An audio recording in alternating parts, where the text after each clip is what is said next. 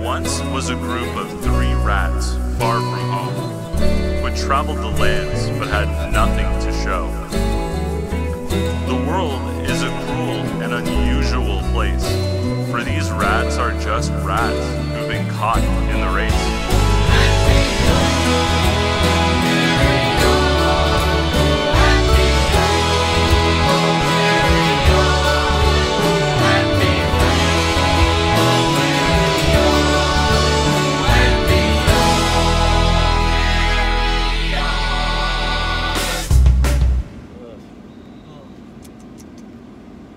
only, man.